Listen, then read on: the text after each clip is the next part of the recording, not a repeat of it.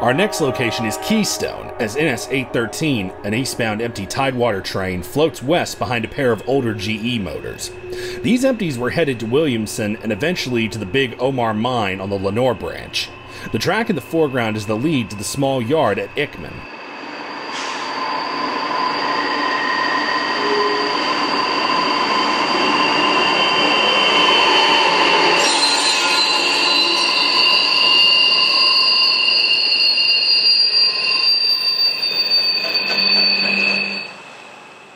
Looking the opposite direction, we see an empty train, NS 811, passing the remains of a derailment that happened a few weeks prior. These empties are heading for the Coal Mountain operation on the former Virginian Cub Creek branch.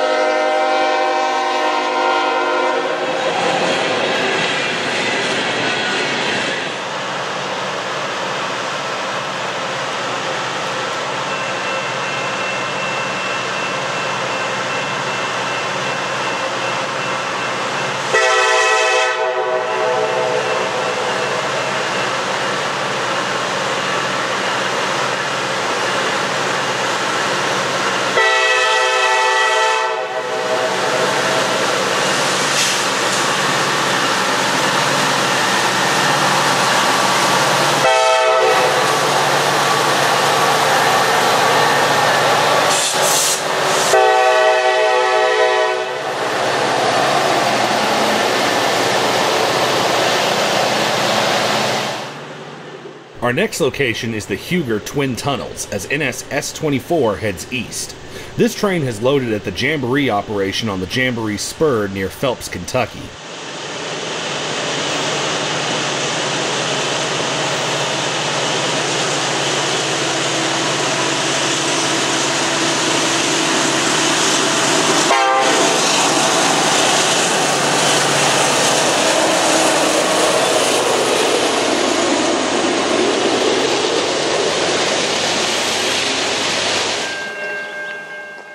Back to the Pocahontas main at Panther, we see a westbound empty grain train NS 54W flying west.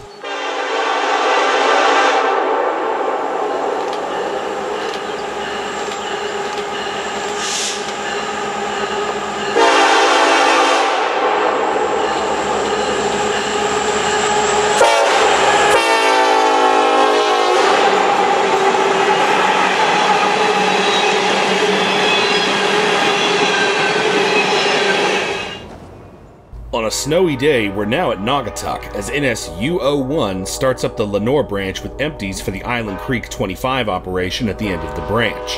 The Lenore branch has continued to stay fairly busy during the bad times for the coal business.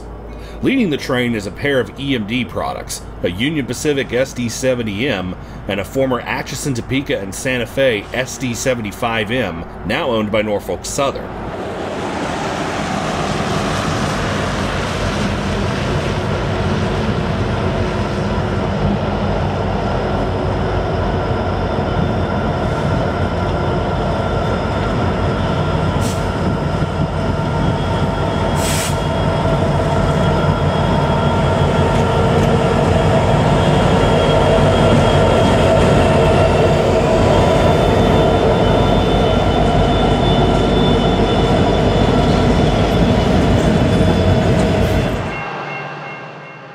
Our next location is Elk Creek, as another 823 continues east towards Weller. The rusting track to the right is the upper Elk Creek spur.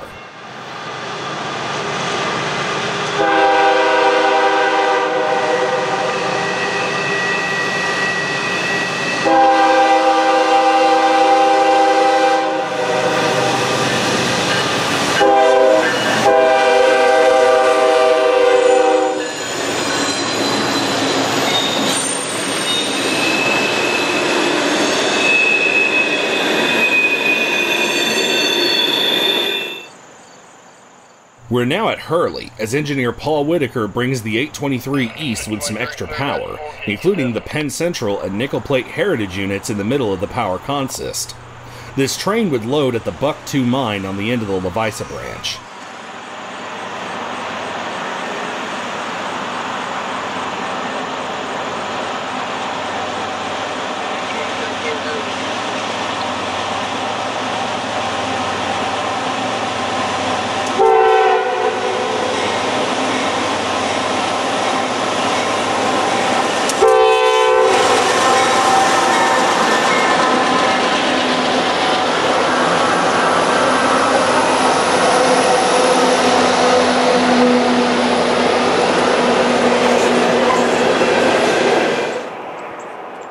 At Mile Branch, NS 820 drops down runaway straight as snow flurries fall.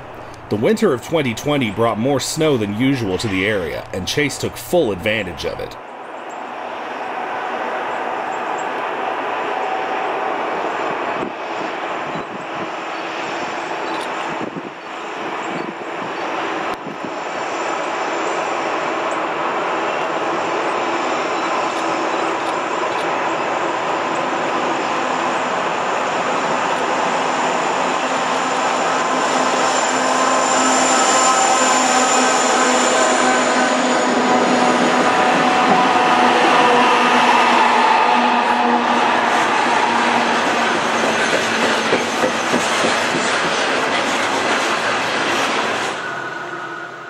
To wrap up our visit to Virginia Lee, we see NS 821 struggling up the grade with empties for Consol.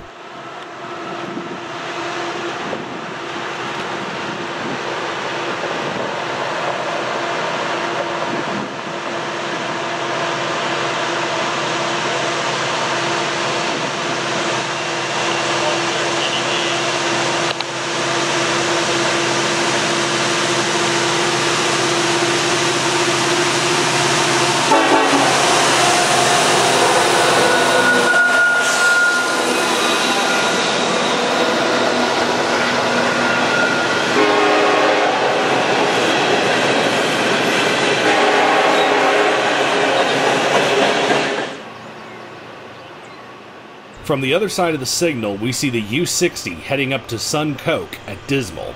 The crew brought up 35 empties from Weller to deliver to the Coke plant.